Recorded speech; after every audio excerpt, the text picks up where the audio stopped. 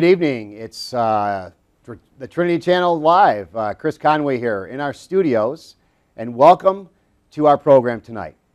And with me in my in our in my studio in our studio is is uh, Tony Costa. Tony Costa. Tony Costa. Tony Costa. We've been sitting here for 45 minutes, and I, I mispronounced his last name. Sorry, Tony. That's okay. But I got Tony right. You got that Okay. first part right. All right. Well, Tony, uh, so glad to have you again in our studio. It's been a while since you and I have worked together, and uh, it's an exciting time because it's our marathon. Yep. It's the second week of the Trinity Channel Marathon, and so much is going on, and so much is happening, and so much to discuss historically as well as current day events, and we're excited. Welcome to the program tonight. Uh, tonight, we also have with us via Skype none other than uh, Robert Spencer. Robert, the director of Jihad Watch, are you there? I am here, Chris. How are you, sir? Great, sir. Glad to hear your great to hear your voice, and so excited to see you. And uh, we're looking forward to getting into this 90-minute program, which will uh, start right. We're starting right now, and tonight's topic happens to be: Does Islam violate basic human rights? Does Islam violate basic human rights? And so we're going to get into that. Uh, I'm going to kind of get out of the way, but I would like to mention, first of all, thank you for watching tonight. Tonight's program uh, will be at another exciting, interesting program. Two very, very knowledgeable, very well respected, and very well read, and uh, very well researched uh, uh, authors and speakers on Islam. Tony Costa, being our Christian apologist, is in the house tonight, and then Robert Spencer, the director of Jihad Watch, as I mentioned. So They'll be doing most of the talking, but I did want to, again, thank everyone for watching and also know that because it's our marathon, we are continuing to remind our viewers and our listeners and anyone out there that we are uh, uh, asking for your prayer support, as, as you have in the past, as well as your financial support. You can always call us at this number, 248 416 1300. Again, 248 416 1300. We'll be mentioning that throughout the program tonight. Again, a 90 minute program which starts right now. Gentlemen, uh, I'll get out of the way and have the two of you uh, get into tonight's topic. Oh, thank you so much, Chris, and uh, and greetings to you as well, Robert. And uh, thank, you you. for joining us. Thank you. Yeah, so we're going to talk about human rights. Uh, do human rights uh, are they violated by Islam? Because what we uh, hear in the media today is that uh, Sharia law is compatible with uh, Western uh, ideas of democracy, and that Sharia law is compatible with Western government, whether it be the United States or Canada or, or Western Europe or Australia and so forth. But that's what we want to ask the question tonight is, does Islam violate the most basic human rights? And you know, when we talk about human rights, um, Chris and Robert, I'm sure you will agree, we're, we're talking about things like the right of uh, freedom of religion, uh, the freedom uh, to, to exercise one's religion, uh, the freedom of speech, the freedom of the press, uh, the freedom of assembly, and, and particularly even women's rights and so forth. And uh, is that something you hear occasionally, Robert, that uh, Sharia law is, is compatible with, with uh, Western ideas of democracy and that it does respect human rights? Is that uh, something of a mantra that you keep hearing? Oh, yes, very much so, Tony. As a matter of fact, there's uh, a general steady stream of mainstream media articles asserting this and uh, claiming this on pain of charges of Islamophobia and bigotry if you disagree. And uh, it seems to be something that the mainstream media is intent on reinforcing. And of course, the weakness of the position is the reason why they have to keep reinforcing it. The main problem with this, the problem that I think we should start out at the outset in discussing, is that Muslim countries themselves disagree with the proposition that Islam is compatible with Western notions of human rights. And we see that from the fact that in 1948, the UN issued the Universal Declaration of Human Rights. Now, this was a flawed document. For one thing, it gave the impression that these rights were given by governments and not by mm-hmm. God. Mm-hmm. Uh, but aside from that, it is a generally useful document delineating what human rights generally are. And these are the ones that you mentioned the freedom of speech, the equality of rights of all people before the law, the freedom of conscience, and so on. They're all in there. Mm-hmm. Now, the Muslim countries, some of them signed on to this. But then the majority of Muslim countries in the world gathered many years later in Cairo and they issued what became known as the Cairo Declaration of Human Rights. And the first statement in the Cairo Declaration of Human Rights is that human beings have only the rights that are given to them by Islamic law. And that is, human rights must be understood within the context of and parameters granted by Sharia, Islamic law. Mm-hmm. And so there really isn't any idea of human rights except what is given in Sharia, and that means the denial of the freedom of conscience, the denial of the equality of rights of all people before the law, the denial of the freedom of speech, and so on, the systematic devaluation and dehumanization of women and non Muslims, all of this. And all of it is affirmed in the Cairo Declaration of Human Rights, to which I believe all or most Muslim countries signed on to, as opposed to the Universal Declaration of Human Rights of the UN. Mm. There's also a great deal more that shows this. For example, the uh, uh, stipulations in Islamic law regarding the blood money that's to be paid if someone is killed in Islamic law, if some if you kill someone, you don't necessarily go to jail for murder. You can pay the relatives of the deceased a certain amount, uh, and then you're free. That's it. And of course, they have to agree to it. But if they agree to it, then there are also further stipulations in regard to how much is to be paid. And if you are a person who killed a Muslim male, then you have to pay a certain amount. If you kill a Muslim woman, then you have to pay less. If you kill a person who is a member of a group considered to be part of the people of the book, Jews, Christians, Zoroastrians, etc., then you would pay less than you would pay for having killed a Muslim, but you would uh, still be paying more than you would pay if you were guilty of killing somebody who was a Hindu or a Buddhist or some other group that's not the people of the book. Right. And so, by that stipulation, which is found in all the schools of Islamic jurisprudence. You have the basic devaluation of the human life of non Muslims and of women. And this runs directly against the core principles of the Western notions of human rights, which of course come from the Judeo Christian tradition and the idea of all people being equal in created equal in dignity before God.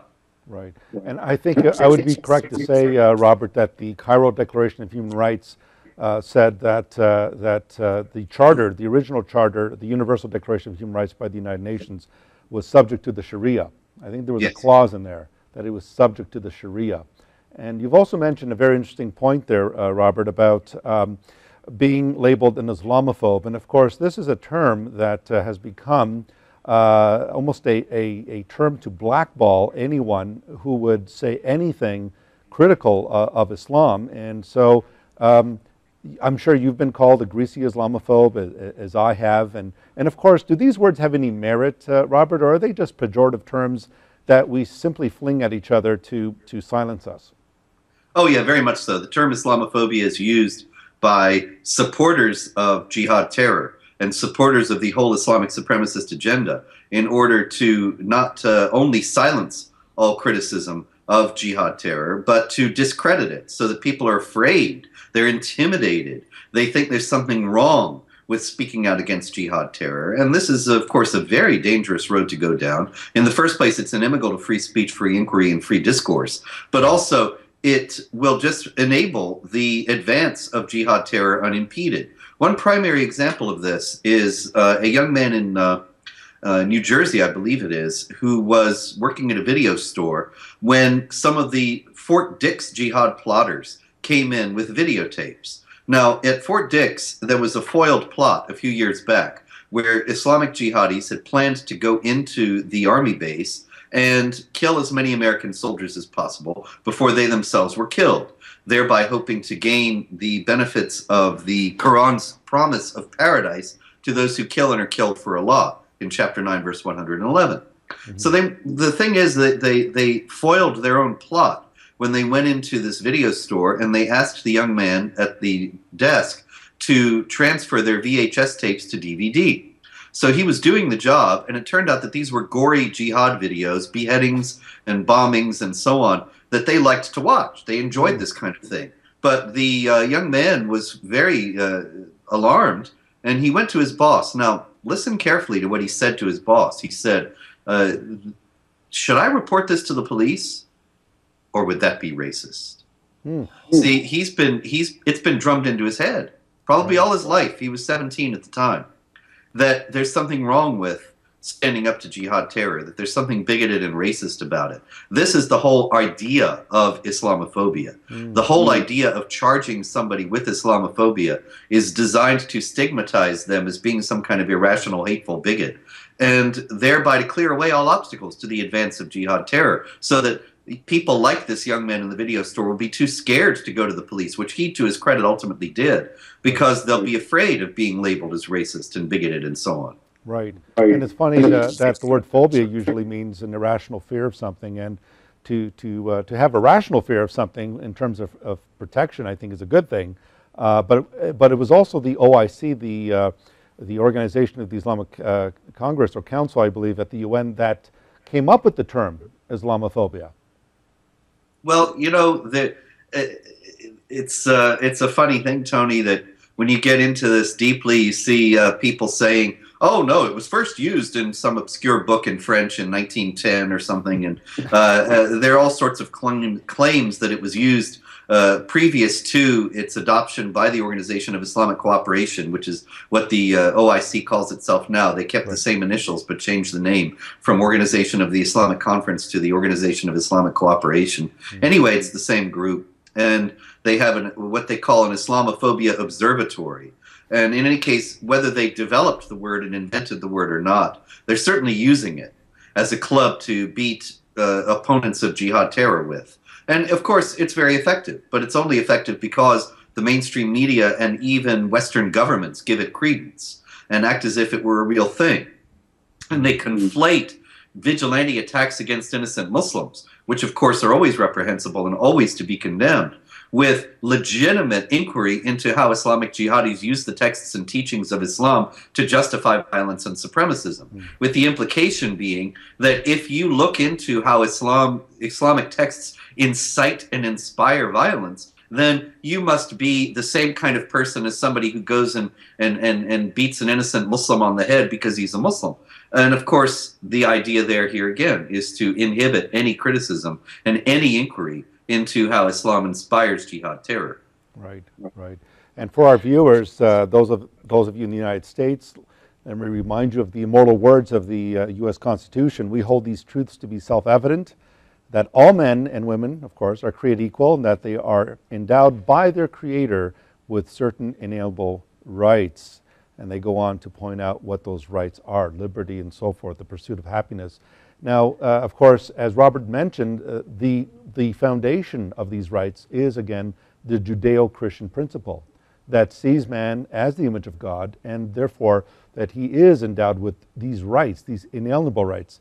Now, being a Canadian, I have to show my bias. I, I also want to say that in our uh, Canadian Charter of Rights and Freedoms, we have this whereas Canada is founded upon the principles that recognize the supremacy of God and the rule of law they mention here the freedom of conscience and religion, freedom of thought, belief, opinion, expression, including freedom of the press and other media of communication, freedom of peaceful assembly, and freedom of association. And so our great countries are built upon these premises that the Judeo Christian foundation guarantees these freedoms. Um, and um, it's quite interesting that just in recent weeks, uh, Robert, you're aware of this, and Chris, that in, in my country of Canada, in our capital city of Ottawa, we we had uh, a, a, uh, convert to Islam uh, kill a soldier at one of the most sacred places in, our, in the country of Canada, the, the, the tomb of the unknown soldier. And, and, then he proceeded to enter the Parliament buildings in Ottawa and Parliament Hill uh, with the intention, no doubt, of killing the Prime Minister and other members of, of, the, of the, the government.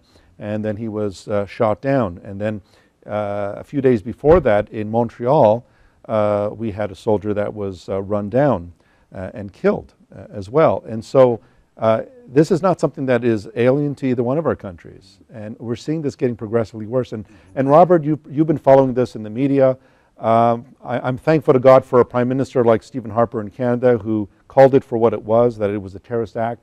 But don't you find that Western governments uh, like David Cameron and even the President of the United States, Barack Obama, continue to uh, try to uh, save face with Islam and, and argue that, uh, that this is not the work of, of of Islam. These are just extremists. Some of them say they're mentally ill and so forth.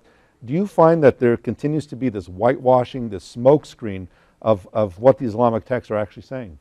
Oh, very much so. Very much so, Tony. Uh, it's it's really shameful that uh, just recently, a few months ago, of course, there was a beheading in Oklahoma, mm-hmm. and the uh, beheader he had on his Facebook page pictures of Osama bin Laden and the Taliban, and picked a graphic photo of a beheading. excuse me, of a beheading in progress, which was uh, captioned underneath with one of the Quran verses sanctioning beheading, uh, chapter 8, verse 12, where Allah tells the angels to go and strike the necks of the unbelievers. Then in chapter 47, verse 4, he tells the believers to strike the necks of the unbelievers. Anyway, he has this on his Facebook page. He goes and beheads one of his coworkers. Hmm. It's clear that he was inspired by the beheadings of the Islamic State, inspired by Quranic teaching to take this action. Uh, and yet, the Obama administration and uh, the mainstream media and all of them char- characterized it as an act of workplace violence because he had been suspended from his job. They did not mention that he was suspended from his job after a heated argument over whether stoning adulterers was uh, a, a, proper thing to do. And he was arguing the yes, and then his, some of his coworkers were saying, no, that's barbaric. Uh, this is not to condone adultery, but it's not to say that uh, it's something someone should be stoned to death for it. Uh, these things are left up to the judgment of God properly. But in this case, uh, he went home, he got a knife, he came back, he beheaded one of his coworkers, and then was in the process of attacking and beheading another when he was stopped this was clearly had this clearly had everything to do with his admiration for jihad terror groups and his imbibing of the Quranic teaching regarding beheading of unbelievers. But the denial of the administration and the mainstream media in that regard was just as strong in this case as it was during the Fort Hood Jihad massacre in 2009, which was also classified as workplace violence, mm-hmm. and uh, completely ignoring in that case also how the Fort Hood Jihad murderer had explained that he was doing this in the name of Islam and in the name of jihad. The problem with this denial, of course, is that it uh, forecloses on any possibility that we will understand the enemy properly. Mm. You can't defeat an enemy that you don't understand. And in America, it's not even uh, accepted as it's not even part of the accepted public discourse to speak honestly about who these people are, what their goals are, and how we can best counter them. Right. And it's interesting as well in Jerusalem, uh, we had uh, the, uh, a Palestinian member, a member of Hamas, who uh, uh, struck a number of, uh, of people waiting for the, the, the train, and you, the, a three month old baby, I believe, was killed.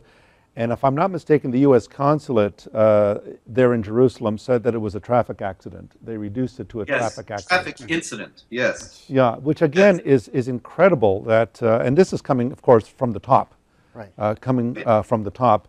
Uh, but a bit of history for those who are joining in, a bit of history. You may not know this, but the founding fathers of the United States knew all too well about Islam. Uh, you may not know this, but uh, many of the, the creation of the U.S. Navy was uh, related to the fact that in the Mediterranean, many of the U.S. naval ships were being attacked by marauding pirates, Muslim pirates who were demanding jizya and, and payment and so forth. And and so Thomas Jefferson and, and, and Adams, for instance, uh, spoke about these people and how their religion calls on them to wage war against their enemies and how they ought to pay a, a special uh, poll tax and so forth. Um, Robert, did, did, uh, do you have anything to share on that as well about the founding fathers of the United States and their experiences with these marauding uh, pirates?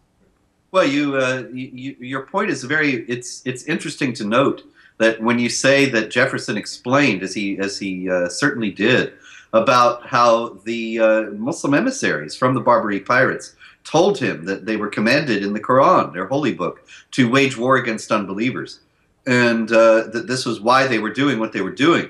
And so America's first wars were jihad wars, fought against jihadi pirates. But uh, it's interesting to note how these things have become so politicized and manipulated today, mm-hmm. and how uh, Islamic jihadis and Islamic supremacists are even trying to rewrite history.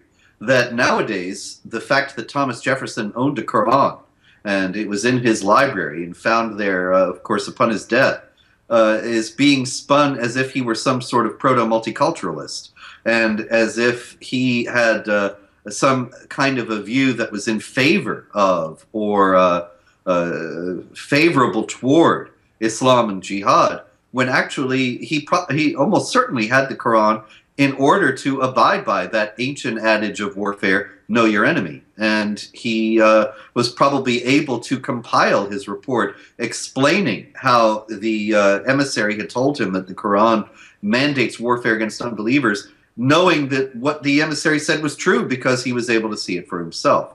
And so uh, you see Jefferson, who is somebody who spoke honestly about Islamic Jihad terror, being spun now into uh, some sort of a uh, 19th century Barack Obama or David Cameron. Uh, saying that uh, Islam was peaceful and wonderful. Even these iftar Ramadan dinners that have been uh, celebrated at the White House since 9 11, actually. George W. Bush started them after 9 11 to show that we were not at war with the Islamic world and had a favorable view of Islam in the United States. Now uh, it's being sent around that Thomas Jefferson actually had the first iftar dinner for Ramadan in the White House when he entertained an ambassador from one of these uh, Mediterranean uh, North African countries that were waging war against the United States.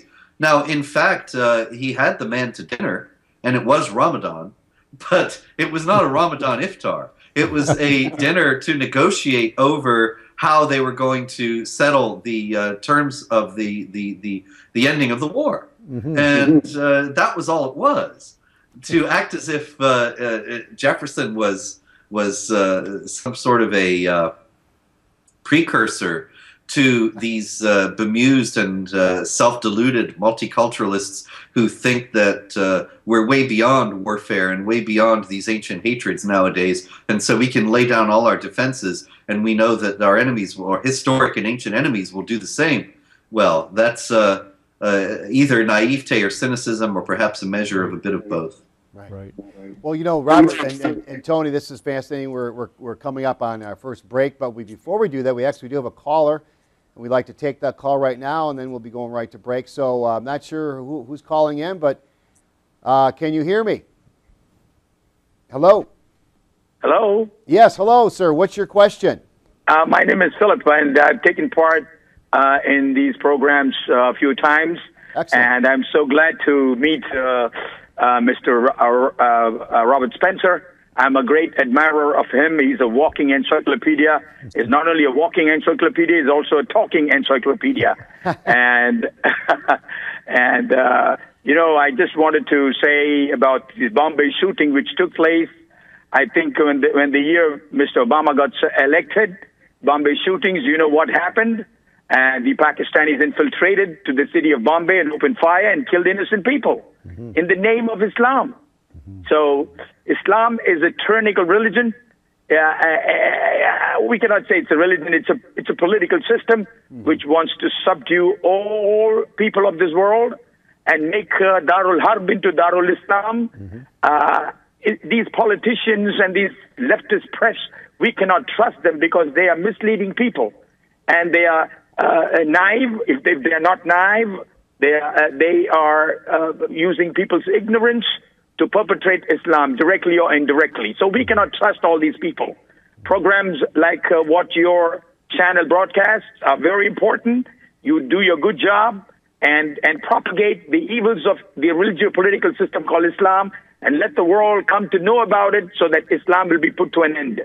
But very soon our Lord and Savior Jesus Christ is the winner. He's going to put an end to Islam. That's what we see now. Islam is rapidly falling down and and, and the reaction of the, their their uh, their, their uh, falling down uh, uh is that that what leads to, terrorism.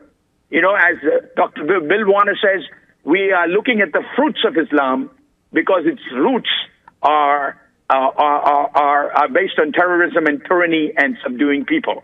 So please do a good job, and I, I want to salute Robert Spencer uh, he's doing a great job, and he's a great he's a, he's a champion for our Lord and Savior Jesus Christ, exposing Islam. Thank you very much. Thank you, yeah. Philip, for, for calling. Yeah, yeah. Thank you, and uh, I would concur. Yeah, absolutely, absolutely. Yeah. And I think it's also important to to note that Uh, we've not been at war with Islam just in the in the re- recent decades or so. Yes. We've been Yes, at we war are- with Islam for 1400 years. It was declared on us when Muhammad said, "I've been commanded to fight against the people until Yeah. they confess that there is no God but Allah and that I am his messenger." And so it's very clear that the declaration of war was made 1400 years ago. And that war has been ongoing and getting progressively more and uh, more and more worse as we see today. Yeah, I have one more comment. Okay, we've got a couple more minutes, but go ahead, Philip. uh, uh, you know, um, uh, all the freedom-loving people have to join together. Earlier, when we dealt against uh, Nazism and communism, we had a clear-cut uh, understanding uh, of the adversary, and we had a, a very straight program, uh, you know, to counter the uh, onslaught of communism and Nazism. But unfortunately, to to to counter the Islamic uh, uh, you know, Islamic uh, expand, Islamic uh, uh, way of dealing things. Uh, I don't think America has a clear strategy. Recently, the president made a statement saying that he, he and America doesn't have a clear policy to de- deal with ISIS. That shows the weakness of America. That shows that America is not able to define its uh, the the Islamic enemy. Um, uh, so that shows clearly the weakness of this administration. I'm so sorry to talk about it. We should know exactly what Islam is all about. Uh, but ABN understands that, and ABN propagates the real nature of Islam. So let us define what Islam is, and once we know the position of Islam, and once we are clear wh- what Islam is all about, then we can find an effective strategy to stop the spreading of the evil religio-political system called Islam. That's And my thank- comment. Thank you very much. Thank you, Philip. And that Thank includes Philip. uh, joining Yeah. with, with passionate viewers like yourself and, and people that are finding, uh, Yeah. continue to track what's going on. We're going to take a quick break right now. Yeah. Uh, but we'll be right back. We've got another uh, one hour or so left in our program, so stick with, stick with us. And if you if you haven't uh, done so, uh, feel free to call a friend or invite someone to join you as, as we watch the rest of this program. Again, we're going to a, a quick break. We'll be right back after this. And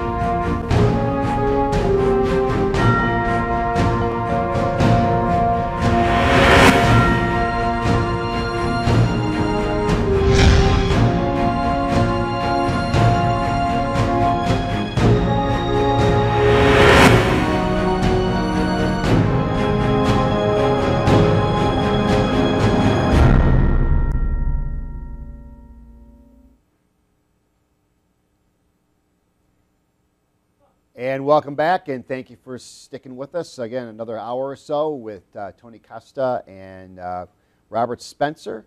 And we've got a, we still got our open lines at 248 416 1300. And we are accepting phone calls as well as uh, any donations, again, that you would wish to uh, provide for our programming. It's programs like this that are a result of your generous giving. We are so grateful to God to be able to bring forth these programs and to provide the crew and all the equipment and the broadcast equipment, all the things necessary the cameras, the lighting, the microphones, uh, all of the switching gears, all the, all the switching gears, all the equipment that we have, the, the bright lights that blink, and all the things that are required.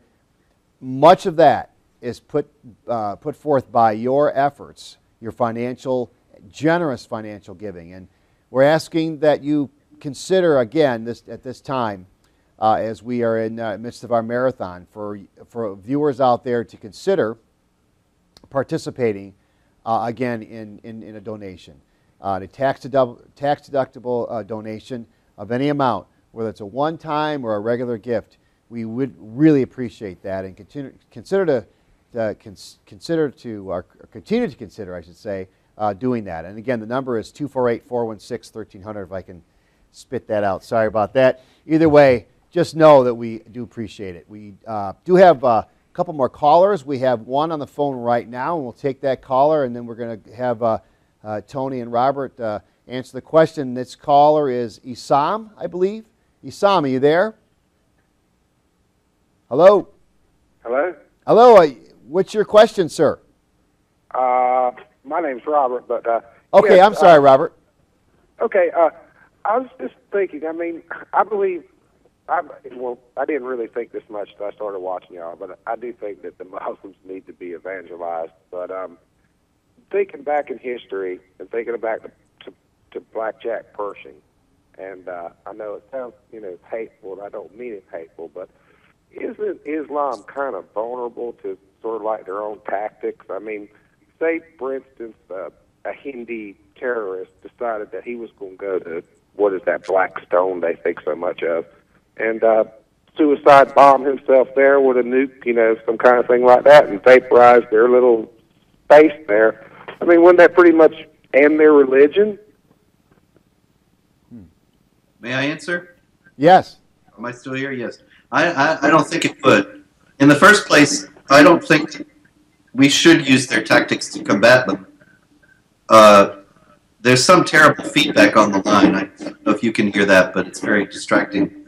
Uh, in any case, I'll still try to explain this.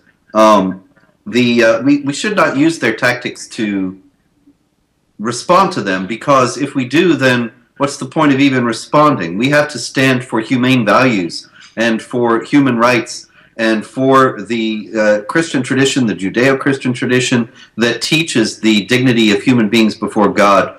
Otherwise, I totally, totally agree.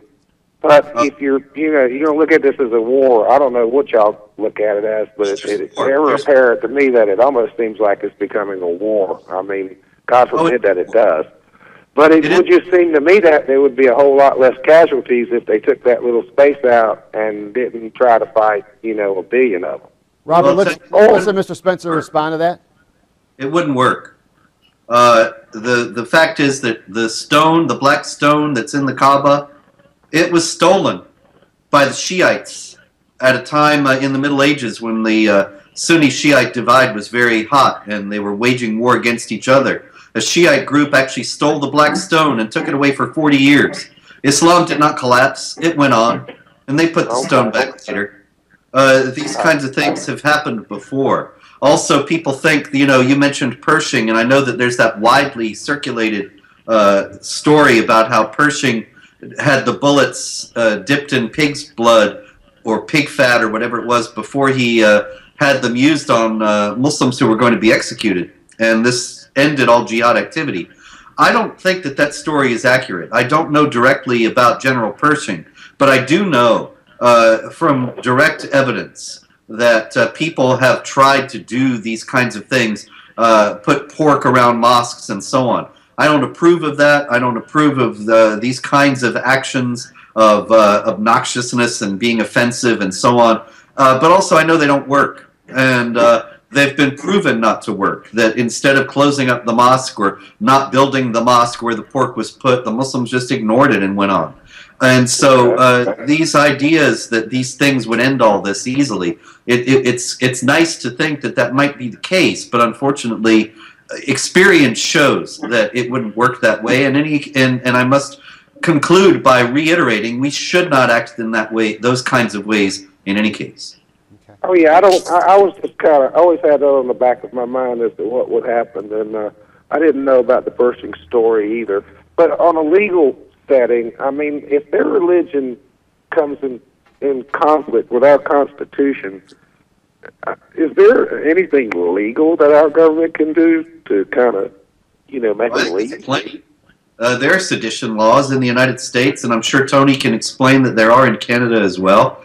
Uh, there, there are laws against overthrowing the government. There are laws. Uh, there are. Uh, there's the oath that every elected official takes to protect the Constitution of the United States and preserve it, and so on.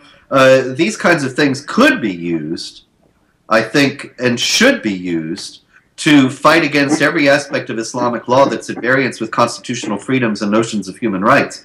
But will they be used? Absolutely not. Not in the current political climate. Uh, any suggestion to that effect is just waved away as Islamophobic and bigoted. And there's no idea of protecting the freedom of speech, the freedom of conscience, the equality of rights of all people. None of that matters anymore. The only thing that matters is to accommodate uh, Muslims. You, you got to wonder when you see this being so universally prescribed and universally followed. If uh, maybe there's oil money behind it and people's pockets are being greased, I don't know. I'm, I'm, I'm not saying that there is necessarily, but certainly something is going on because all the Western leaders, all the Western governments, with the arguable exception of Prime Minister Harper in Canada, all of the uh, elected officials in Britain, in the U.S., in Europe, both parties in the United States, the Democrats, the Republicans, they all sign on to this idea that Islam is a religion of peace. It's perfectly benign. We should welcome more and more Muslims into the country. Uh, there's no consideration of any possibility of the incompatibility of Sharia with Western notions of human rights or with constitutional freedoms, and it's universal. Uh, uh, There's nobody on the other side. Nobody. You, you, you got to wonder, you know, uh, either we're just very wrong on this program, and I don't think we are, or uh, there's something else going on. I'm not given to conspiracy theories, and I'm not saying there is one, but uh, certainly something must account for the, the, the, the universality of this response. And I think maybe it's just as simple as that people are afraid of being charged charged as bigoted. And when the uh, Islamic supremacist groups in the West started claiming that any resistance to jihad terror was hatred and bigotry, maybe they found the golden key in that regard and uh, were able to get everybody behind them. But they certainly do have everybody behind them. And we think also of the words of uh, President Barack Obama at the United Nations, where he said, the future does not belong to those who insult the Prophet of Islam. And right there, that was, he just uh, capped freedom of speech right there. But why the Prophet of Islam? Why not Jesus? Why not Moses or any other revered uh, figure? But it's interesting that the President of the United States said the future does not belong to those who uh, insult the Prophet of Islam. So there is no uh, there is no opportunity to question him. I mean, uh, Robert wrote an excellent book on Did Muhammad Exist? That would be considered as an insult in the Muslim world. Uh, a German professor who was a convert to Islam uh, was threatened when he proposed that uh, Muhammad most likely did not exist, and now apparently he's apostatized from Islam. Uh, but would that not be true, uh, Robert, when the President of the United States of America states at the UN that the future does not belong to those who, uh, who insult the Prophet of Islam, has he not effectively reneged on the U.S. Constitution? Oh, yeah.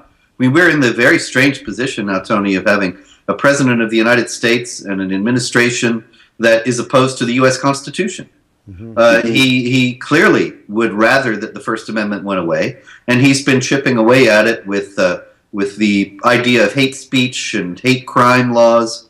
Uh, obviously, any real hate and any, any real hate crime is something that any, any individual should oppose. But the problem is, when you start talking about hate crimes, well, what makes something a hate crime? If I come and beat you up and take your money, that's a crime. If I come and beat you up and take your money and call you uh, some nasty name that uh, you know some name for Canadian or something, then that makes it worse, right? Then it's a hate crime, right? Well, actually, you're just as beat up and you're just as bereft of your money, and maybe you're a little bit insulted or uh, uh, uh, your feelings are hurt or so on. But you know, it, it, it, it amazes me how immature these things are all. Uh, people get insulted and and and and uh, uh, have to put up with things they don't like every day. But if you're in these one of these groups, and Muslims are one of the groups that is, uh, it's considered to be a hate crime if you insult them and with with some slur. Then the crime that you commit might commit against them becomes that much more heinous. So, in other words, the point of the hate crime legislation depends upon the concept of hate speech. That you're, it's what you're saying that makes it a hate crime. And when you when you cross that line, you've crossed a very very dangerous line because you've really uh, now you've you've got no free speech at all. I was speaking at uh, Cal Poly, the California Polytechnic University in San Luis Obispo, California, lovely little town, uh, last uh, spring, and there was a, a very angry young woman in the crowd who, during the Q and A, she said to me uh, that this said, should never have been allowed, this talk by me, and that it was hate speech, and that hate speech is not free speech. And I saw the same thing when the uh, University of California Berkeley students tried to get Bill Maher, the comedian, uh, canceled from giving the commencement address at the fall commencement in December just recently. And I saw the same thing again. Hate speech is not free speech. This is a very pernicious and dangerous idea, and it is getting more and more currency. The idea, of course, it's very straightforward. If you are, are inciting hatred and violence against people, then you cannot be allowed to speak. And that goes beyond the bounds of accepted parameters of freedom of speech. Put that way, a lot of people would go for it. A lot of people would say, yeah, that sounds reasonable. Absolutely. No more hate speech. The problem is then, who gets to decide what hate speech is? Hmm. Who gets, who, which government official uh, looks at what I say or what you say or what Osama bin Laden said, or what Islamic Jihad leaders today say, and decides this is hate speech, this is not, this is acceptable, this isn't. That person, whoever he is, has extraordinary power. And you have effectively placed the freedom of speech into his or her hands. Now, the difficulty with that is that nowadays you have the Islamic supremacist advocacy groups like the Hamas linked Council on American Islamic Relations and others essentially labeling every and all criticism of jihad terror and any realistic examination of how Islamic jihadis use the Islamic teachings to justify the terror as hate speech. And then that means that, you know, if they have the power, and they do right now, then they can get it all outlawed and absolutely prescribed under the law, proscribed, that is, under the law, to, and forbidden to speak critically about Islam and jihad. Now, that's the insidious backstory. When Osama, when uh, oh yikes, Osama bin Laden, no, when Barack Obama says the future must not belong to those who slander the Prophet of Islam, that's what he's saying.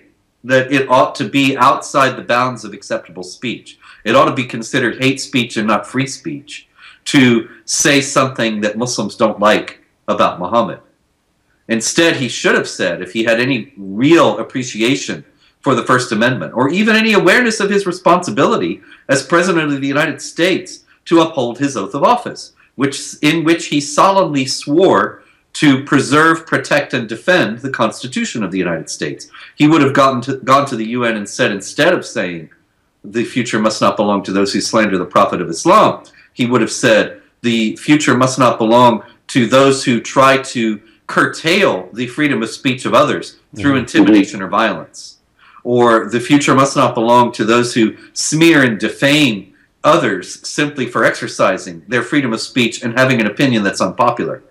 He could have said and should have said, as a decent president of the United States, something like that. But instead, he's now gone on record as being opposed to the Constitution he swore to protect and defend. And of course, with Ben Affleck and Bill Maher, uh, of course, Ben Affleck uh, accused him of being a racist. And we've been wondering, uh, Robert, as you probably have, what in the world, what race is Islam? Uh, Islam is Islam not a race. Yes. Islam is the, not a race. yes. Uh, it's a funny thing because uh, I myself am uh, from a family from the Middle East, and uh, my family lived in the Islamic world for the whole time of it. Islam was there until they were exiled.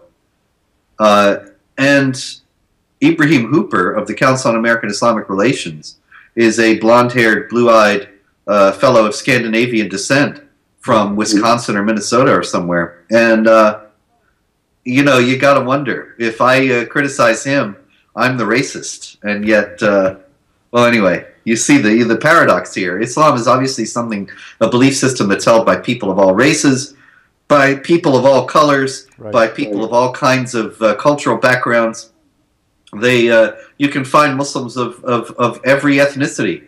And so to act as if it's racist, well, this is playing, of course, upon the popular perception and the fact that most Muslim immigrants are uh, from uh, Pakistan, from Syria, from Egypt, from places that uh, uh, uh, people would consider, well, they're not white or something like that. You know, these are distinctions in themselves are artificial. But, uh, but in any case, the uh, idea is that uh, to, it's just some sort of a white supremacist enterprise to keep down the brown people. And uh, you know, when I see Ibrahim Hooper on TV, uh, I always wonder uh, why it's racist to oppose him, uh, or, or, maybe we could get white non-Muslims to oppose Ibrahim Hooper and brown non-Muslims to oppose brown Muslims and maybe that would be not racist. But of course, that wouldn't uh, cut the uh, cut the mustard either, because it's all a cynic, cynical and deceptive endeavor here again to quash any criticism of jihad terror and Islamic supremacism. Right. You know, we need to do a program that we'll just title it "The Curiosity of Chris" because I'm listening to this. I'm writing these all these notes, but you know, it's not for me to ask the questions. I uh, but I, there's so many, and it's so interesting, and there's so many things that are going on. But I think we still have a caller, actually. If I'm not mistaken. If we do, we would like to take that call right now. If we have a caller on the line for either Robert or Tony, is there someone there? Maybe I'm mistaken. I thought we. No, you're not mistaken. No. Oh, here we go. Ah, yes, yes. This is for Robert. Robert, we do wish to be humane. Okay. Now you did uh, reference Surah 9, verse 111 which says the highest sacrament uh, or the surety of getting into Jannah is to kill others in Allah's name. And to be killed doing so, or to be killed doing so. That's not a necessity. As you well know, that's not a one time promise. That also occurs in 4, Surah 4, verse 74, or Ayah 74. And it is mentioned and alluded to numerous other times, such as Surah 61, verses 10 through 12. Anyway, what we're talking about is the being humane to these. And okay, if someone is a Muslim, by definition, they are submitted to Allah and they follow the Quran and the Sunnah of Muhammad. That includes all of these things. Now, if we try if we try to separate people, we are in the we put ourselves into the situation of searching out the good Nazis. Do you not agree or disagree? And could you please give a reason? Uh, I, am not even sure I understand the question. I didn't say anything about searching out good Muslims or anything of the kind. Uh, what I said was we have to uh, be upholding our own values in response. You know, I don't know if you're a Christian, sir, but uh, the Lord said, Love your enemies and pray for those who persecute you. I do not believe that that is some sort of a recipe for being a doormat and lying down in front of your enemies and not doing anything uh, to defend yourself or your family. I believe we have an obligation in charity, as a matter of fact, to defend our homelands and our families and our loved ones and so on. Uh, but not to do so with an eye toward revenge, but simply with an eye toward justice. And that is in sharp dichotomy to Surah 48:29 in the Quran, which says, Muhammad is the apostle of Allah, and those who follow him are merciful to one another, but ruthless to the unbelievers. And so, if we are ruthless to those outside our own fold, then we are obeying the Quran and not the uh, Lord in the Gospel of Matthew. And I think that would be a very grave mistake for a Christian to make. Okay, well, thank you very much. Thank, Thank you. you. sir. We, we uh, appreciate that. Tony would like to comment on, on that. No, I, I, I wholeheartedly agree with what, mm -hmm. uh, with what Robert just said. And that is really the essence. The message of Jesus, contrasted with Muhammad, is that Jesus said, Love your enemies, pray for those who despitefully use you. He who lives by the sword will die by the sword or perish by the sword. Muhammad was the exact opposite. You love those who are your own, but hate those who are outside of you, even if they are close to you. So uh, they are worlds apart. Right. And we're on the winning side. I'm so grateful Absolutely. for that. Oh, and uh, so we do have another caller, I believe. Uh, I believe this time it is Isam. Isam, are you there? Hello? Hello? Yes, it's, uh, you're on the air, sir. Thank you. Thank you so much. Well, thank you, Chris and Tony and Robert and uh, people that are not there, especially Mr. Wood and CL and everybody else. Thank you so much for, for what you do. Well, uh, I am from Pakistan, and and uh, there is no such thing human rights for Christians. And I am I am by the grace of God I am Christian. and in Pakistan there is no such thing that's called human rights. The country is predominantly Muslim. And the Islamic law or Sharia law is constantly is being used or abused or misused, whatever you want to call it. And people, the Christian people, are being subjected to killing and all kinds of unfairness means that are applied in the name of Sharia.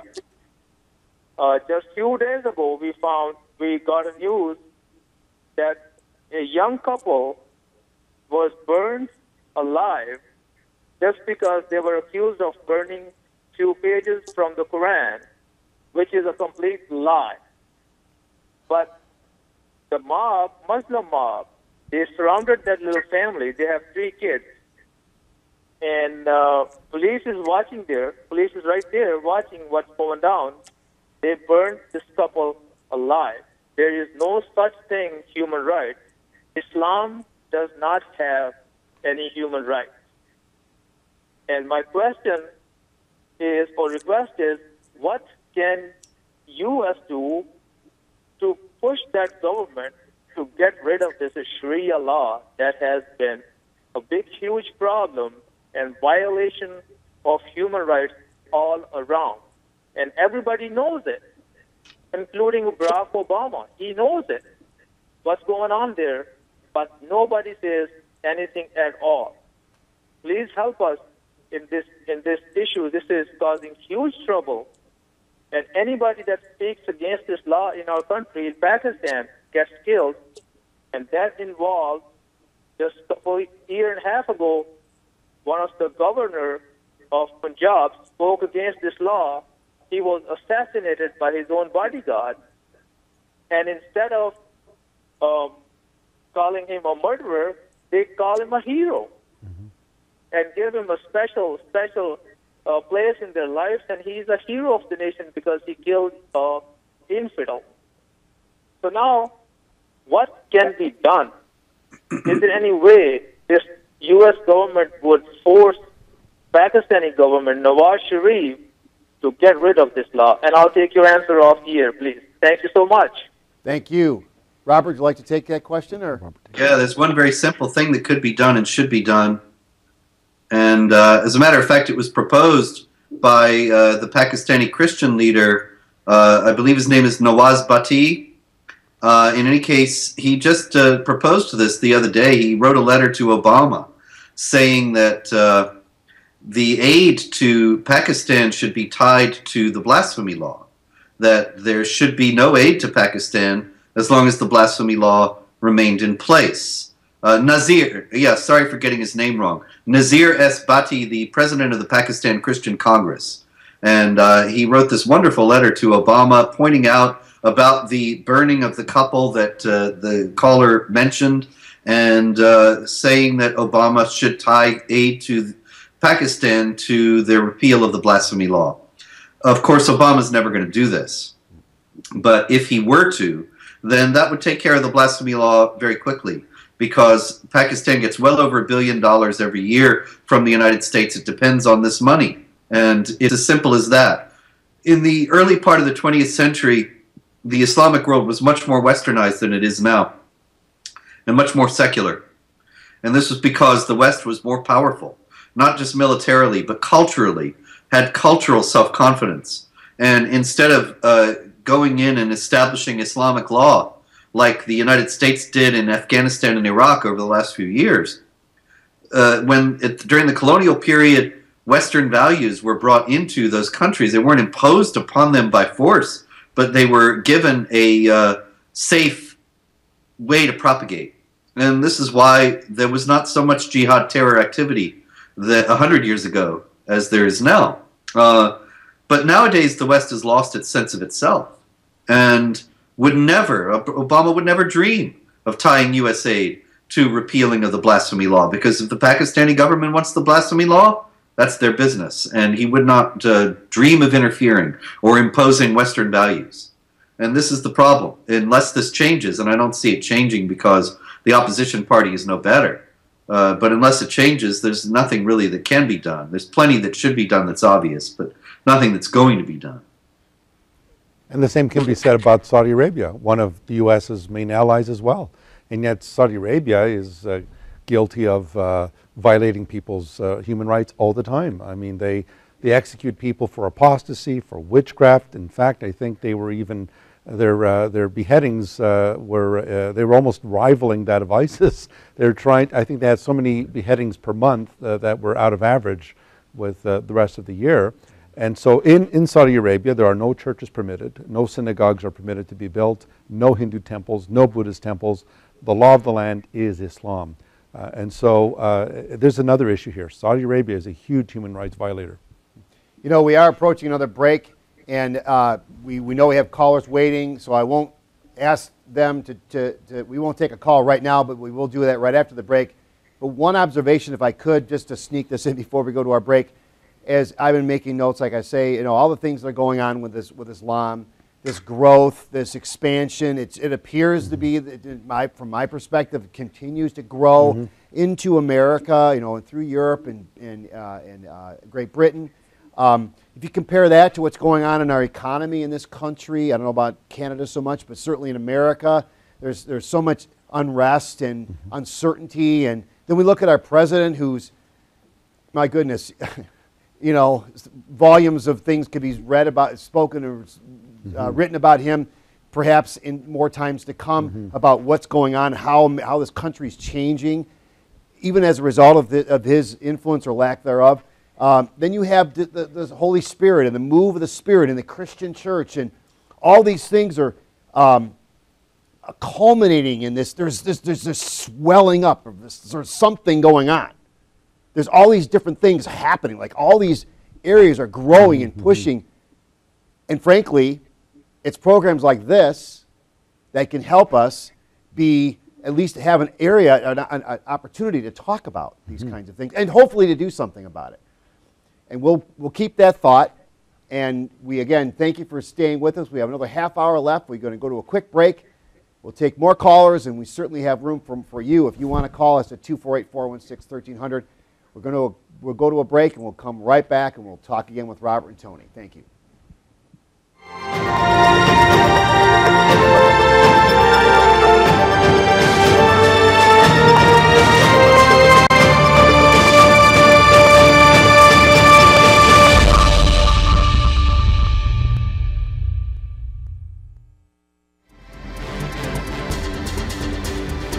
Matthew in his gospel says, and this gospel of the kingdom will be proclaimed throughout the whole world as a testimony to all nations, and then the end will come.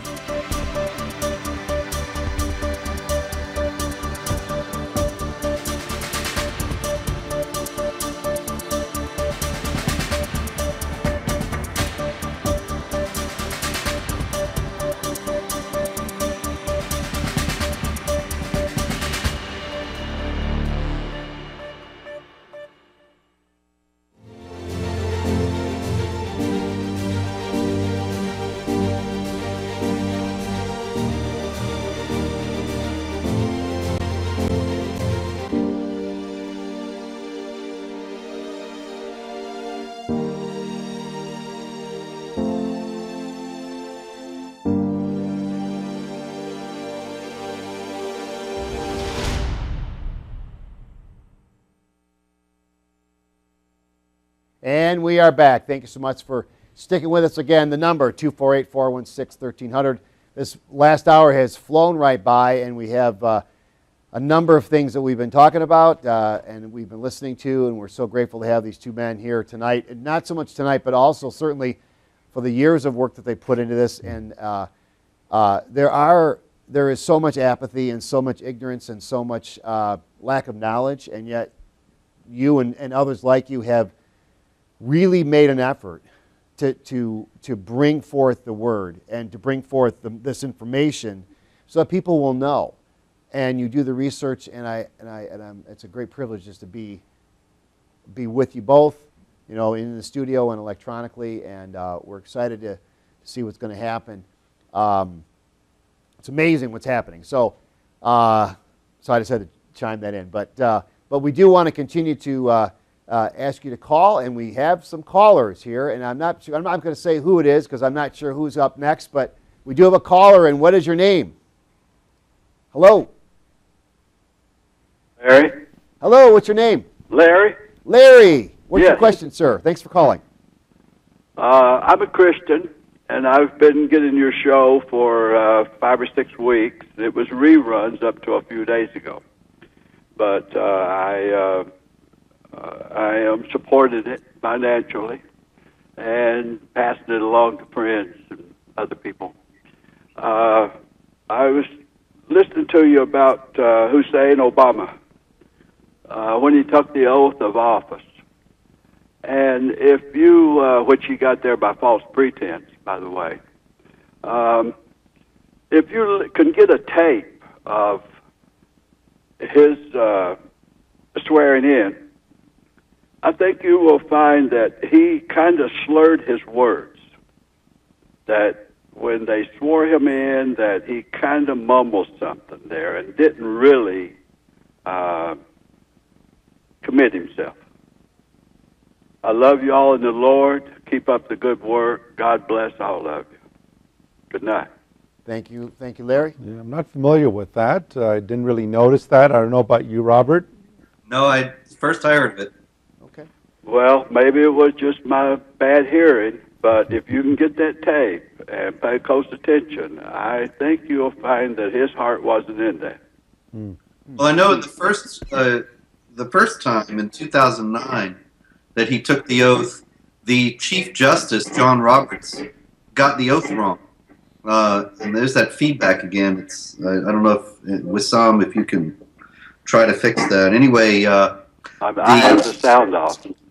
Uh, I don't know what it is. It's just sound coming through on my side. It's very hard to. We'll ask our technicians to uh, turn off the microphone if, uh, on, on the caller if we could. John Roberts, the Chief Justice, got the oath wrong, and Obama took it wrong. And everybody noticed, of course, it was on international television. So the next, Uh, right. No, this was the second swearing in. the second one, oh, I don't know anything about that one. I don't even think I saw it. Uh, it was too painful to watch. Amen, brother. All right, well, Larry, thank you for your contribution. I, I, I would like to reiter- reiterate tonight's uh, topic, uh, just so we're on the same page here, and I should have mentioned this before, uh, or more frequently perhaps, is does Islam violate basic human rights? So, does Islam violate basic human rights is our topic. And thank you for calling, Larry. Appreciate your call and your support. We do definitely appreciate that, and thank you for partnering with us. And we'll, uh, we'll have to keep an eye on, uh, on, on, on that inaugural speech from uh, more, the second uh, swearing in. Excuse me, let me get a quick drink here. Um, we do have another caller. Mm. Hello? Who's, you who's hear me? next? Hello? Hello. Do you hear me? Yes. What's your name? Yes, Shaker. And, uh, hello? Hello. Yes, do you hear me? Yes. We, we can. What is your question, sir? Yes. Uh, thank you first uh, for giving me this opportunity, especially with uh, um, uh, with um, with Dr. Robert Spencer and my citizenship mate uh, Tony Costa.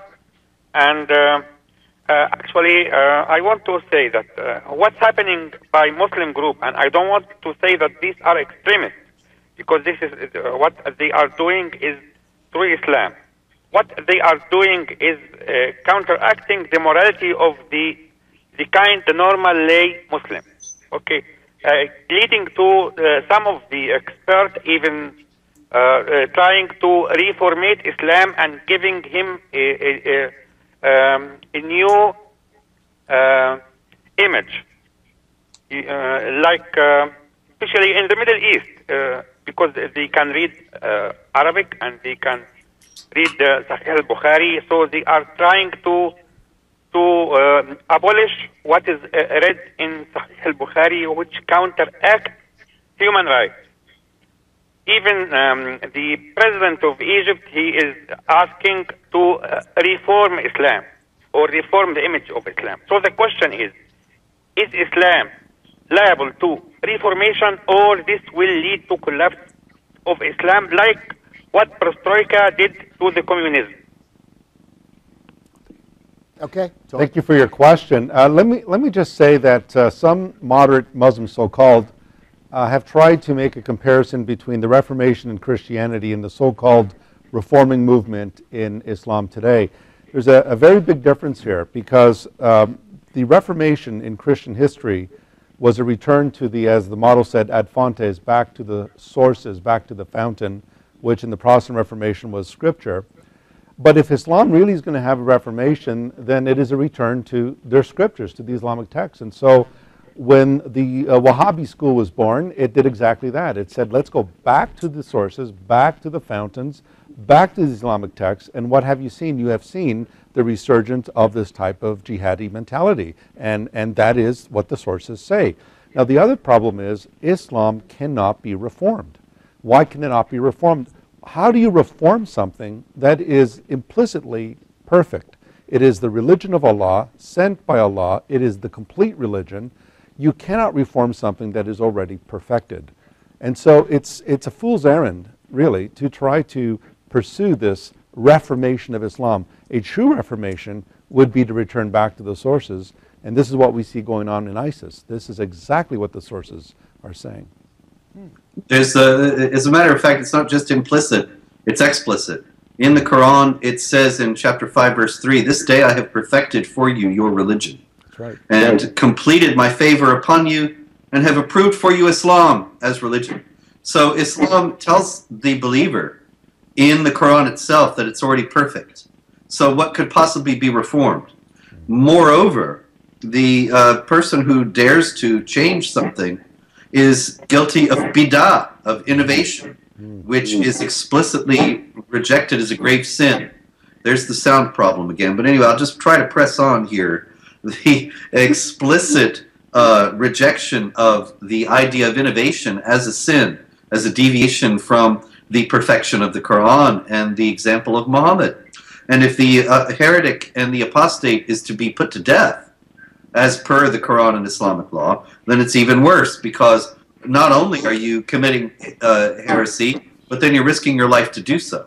And so very few Muslims are going to be willing to do this. There have been so-called heretics put to death in modern times. Mahmoud Muhammad Taha in 1985 in Sudan, he uh, taught that the Meccan surahs, which are generally more peaceful, should take precedence over the Medinan surahs, which are more violent and he was put to death by the Sudanese government as a heretic.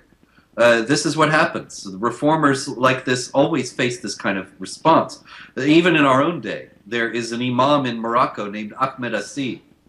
And Ahmed Assid, just a few months ago, he taught the same thing. He said it was shameful that Islam was used as a pretext for violence, and that uh, the peaceful aspects of it should be made to take precedence over the violent and he was immediately denounced as a heretic, shunned by his fellow imams. They put out death threats against him, and he's living in hiding. So how are you going to reform when the reformers are, are, are under death threat? And a professor at the University of Nablus, as you know, uh, Robert, when he was uh, talking about the evolution of the Islamic text as something that uh, evolved uh, over time, was thrown out uh, the window. And I think it was a, a three-story building or four-story building and, and badly injured. Uh, yes. And that's because he dared to question the uh, divine origins of the Quran. So the thing is, you know, this uh, th- uh, these threats of death and this violence against people like Professor Bashir and, and all these others, and Mahmoud, Mahmoud Muhammad Taha and Ahmed Assid, that's the prerequisite, really, for any reformation. It's a very practical thing. When Martin Luther was freeing, fleeing for his life, uh, that could have been the end of it. But when he was given uh, sanctuary by uh, I forget the guy's name, but one of the one of the German princes, mm-hmm. and then he had a place where he could live and move about freely and not be in fear of death all the time. Then his movement was able to take root, and this is what is uh, how Islamic reform is cut off at the roots, at, at, at right at the beginning, because these people are immediately victimized, and nobody who's going to stand for them. Uh, no, no German prince in their regard. Uh, also, you're quite right that the Wahhabis represent the real reformation in Islam. They represent going back to the Quran and doing just what the Quran says. and they're the most virulent and violent form of Islam in the world today. Well, uh, I, I will say, uh, Robert, we apologize for any, by the way, any uh, uh, technical issue or audio, or so we're not we're not really sure what that is, but we're trying to track that down. But in the meantime, in the meantime, we live in a noisy world, so uh, unfortunately we have to deal with some of that. Um, but but speaking of Islam, uh, any, no, um, but I would say um, we do have another caller, I believe, and if that caller is there, we'll we'll take the call and the question. Hello. Do we have a caller? I believe we do. Can you hear me? I can hear you now. Yeah. You know, we have one supreme being up in heaven. It would be nice to see all the religions come together as one.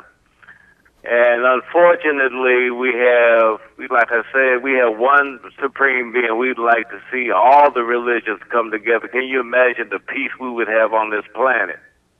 I watched a movie not too long ago with Mark Wahlberg called Shooter. And all these wars are basically over natural resources of different countries. And unfortunately, we have too many people uh, want to rule the world instead of coming together across this country. And the only way things are going to change until all of us realize that we all God's children and we all need to come together as one and we need to stop these countries from starting wars over natural resources like oil.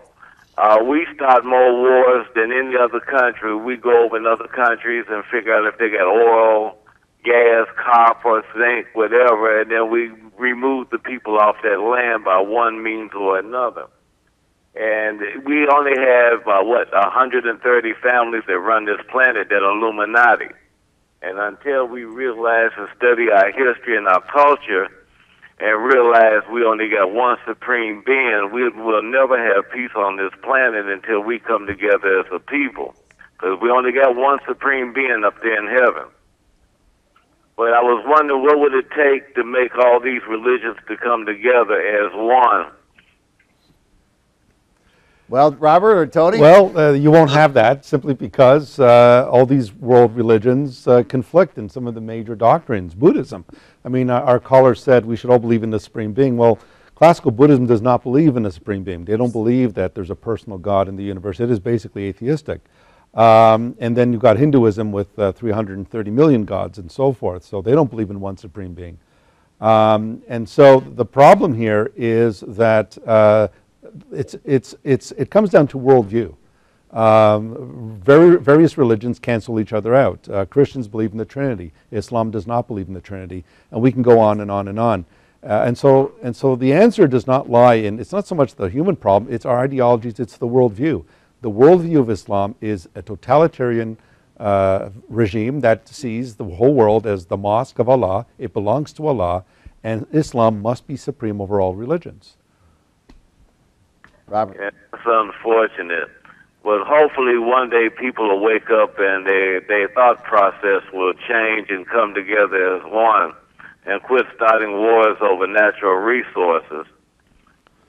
But anyway, you know, I, I love y'all program. Keep up the good work, and maybe your program, maybe you can get on channel seven, four, and two, and we can get everybody involved in the dial, you know, in the conversation. Well, we appreciate your input tonight. Uh, it's David, right? Terry. Yeah, David. David. David, we appreciate your call. I think you have good intentions. Uh, uh, I would say that, uh, uh, sir, uh, love your, your family and love your neighbors and, and definitely serve God and love God and um, let that, let's, let's all try to do that. How's that? It's a start. Yes, that'd be great. We need one big family reunion.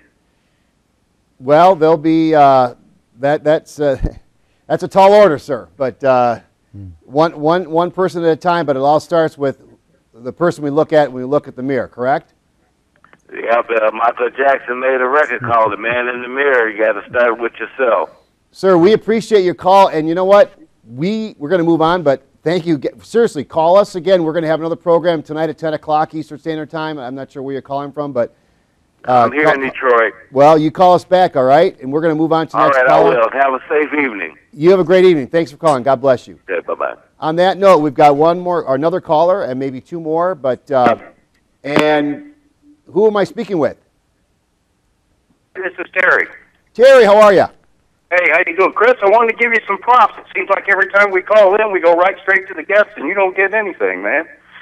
I'm just here to to. to uh, they they felt sorry for me. They said, "Okay, Chris, we'll put you on the studio." No, but uh, uh, well, I appreciate you calling us. Uh, how are you tonight, Terry?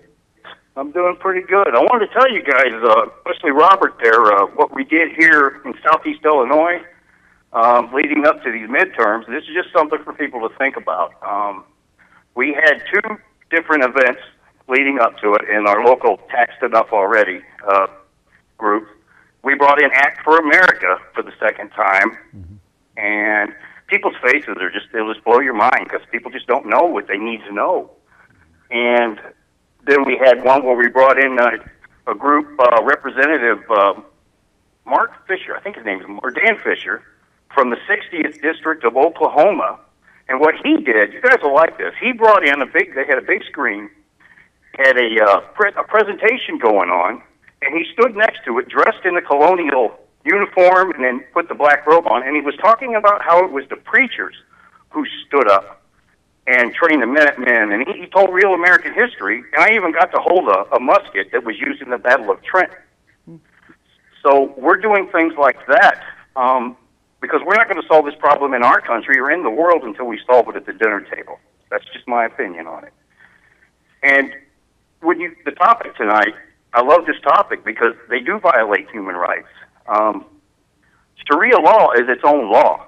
When Keith Ellison swore on the Koran, see, they didn't even bother to tell us. They were all excited that he swore on the Koran, but nobody told you why Thomas Jefferson had that Koran. You know, because of the Barbary pirates. He wanted to know his enemy. So when he swore on that, that was a completely different constitution than the U.S. Constitution. Because you guys can speak on this, I know, because it Sharia law at its core is is basically sedition to the United States Constitution. And anyway, I appreciate what you guys do, and God bless you. And God- I'm trying to spread the word. God bless you. Appreciate that, Terry. Thank you so much, gentlemen.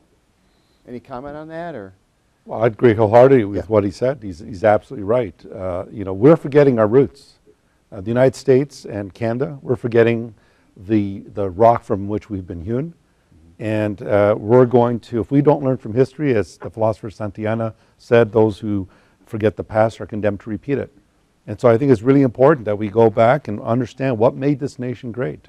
It was the Judeo Christian foundation that understood that human beings are made in the image of God, they have inalienable rights, and that those rights, uh, as Veterans Day approaches, and in Canada we call it Remembrance Day, and so does Great Britain, these were men and women who fell in battle to protect our freedoms. And Sharia law is chipping away and will destroy those freedoms that were so hard fought for. we uh, we appreciate that, Tony, and we are getting close to the end of our program tonight. We have another caller, though. We'd like to sneak that in if we could. Uh, who am I speaking with? Hello. We have a caller. Hello, yes. What is your name, sir? My name is Todd. Hey, Todd. What's your question? Yes. Go ahead, Todd. okay, I have to turn my TV down a little bit. Um, my question is I live over in Buffalo, New York. And uh, as far as the human rights issue, that's what we're talking about? Mm-hmm. Yes. Okay. Um, well, like I'll go to the grocery store and I'll have my girlfriend with me, and she's black. And on more than quite a few occasions, we've had like uh, the female Muslim women in their burqas. They always run in a group. They slam into her with the grocery cart. You know, they always uh, like try to make life miser- miserable on her and I think it's because we're a mixed race couple, and I don't understand what gives them the right to make this kind of a scene, or just, I mean, this is the United States, and they're actually doing this over here in Buffalo, uh, and then all of a sudden they cornered her one day, like the men cornered my girlfriend one day, and they started going off on her. And the only thing that saved her, because apparently the guys were starting to clench their fist like they wanted to give her a beat down, uh, was a bunch of other like men came up and you know said, "You hit her, we're going to take you out and beat the hell out of you." So I just want to know what the situation is, and you know why should that action be tolerated here in the United States, and how can we let them get away with that? Because Well, that's a violation of our human rights. Okay, It we're going to let Robert answer that question. It shouldn't be tolerated in the United States, but here again, you have uh, elected officials who've compromised with these groups, these Islamic supremacist advocacy groups, and they uh, are not willing to confront uh, a, a lot of uh, petty violence and intimidation done by Muslims in the United States, and this is a situation that's only going to get worse.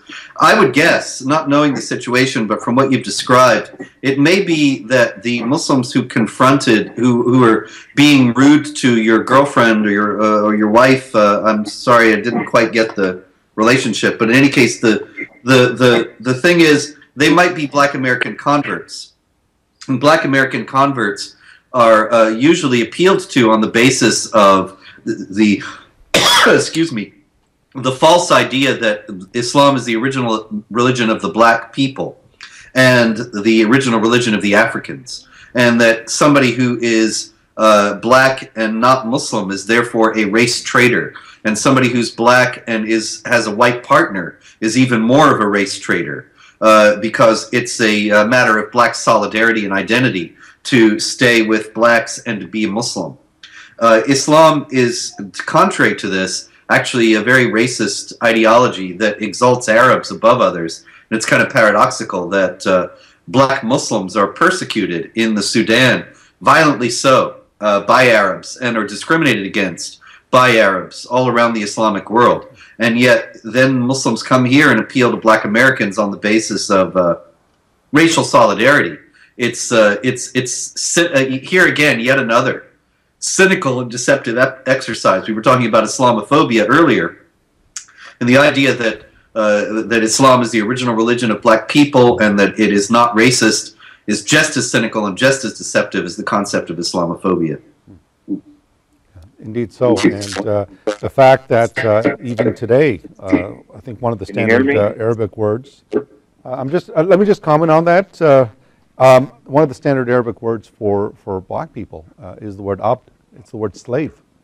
Uh, and and uh, you know, you heard of the Nation of Islam and, and how Malcolm X changed his name. He didn't want to be known by his so called white Christian name.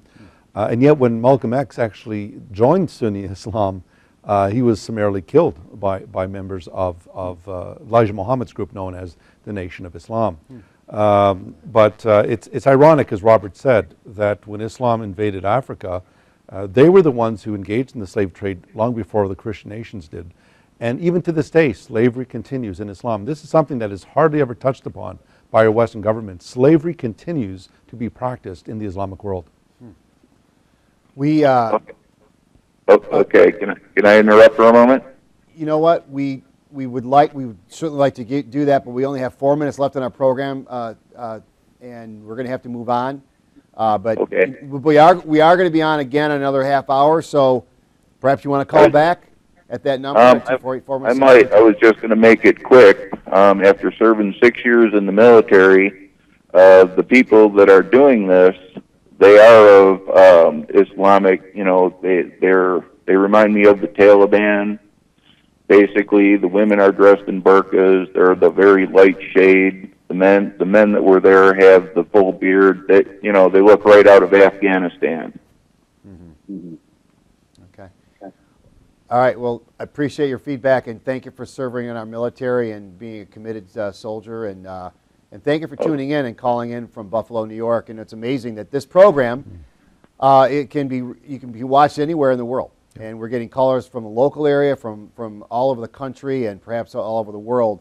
And that's the power of uh, the technology that we have available to us, not only this program, but certainly anyone.